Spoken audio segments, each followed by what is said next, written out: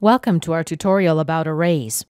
So far in this course, we've worked with variables that only hold one value. An array is a variable that can hold multiple values, but it only stores one type of value, for example, a string, an integer, etc. Arrays are very useful for storing logically related values in your program. An array is like a box with multiple compartments.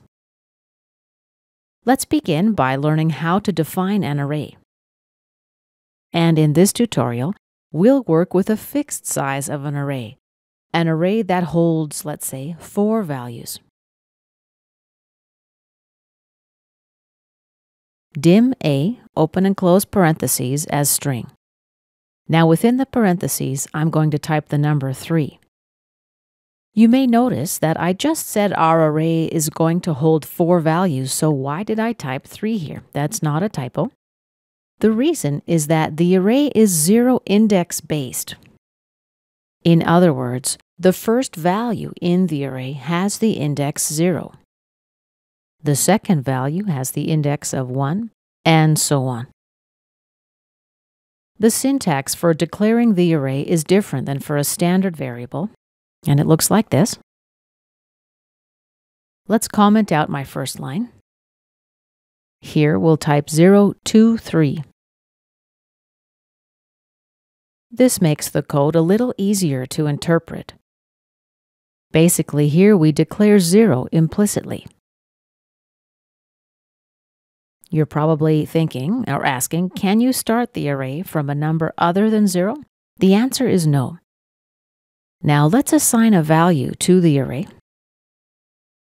I'll type A, open and close my parentheses, space, equal sign space, open and close double quotation marks, and within those I'll type name.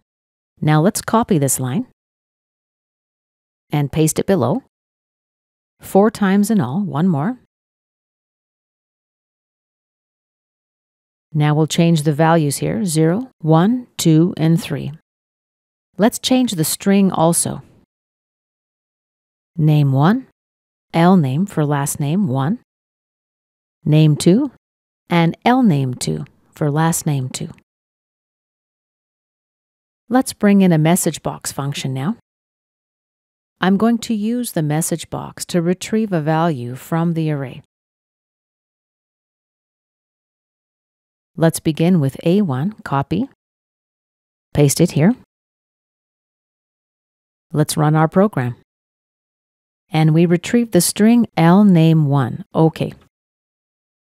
Let's add one more value to our array. I'll copy and paste this line. Change this number to 4. Let's run our program. Now we've got error index was outside the bounds of the array. Basically, I tried to place the value in the array, but it didn't have the spot reserved for it that I tried to use. Let's comment out this line. We can also use a multi-dimensional array. 0 to 3, comma, space, 0 to Let's say we want four rows and four columns. By the way, for this type of syntax, it looks like this, 3, comma, space 3. Let's comment this line out.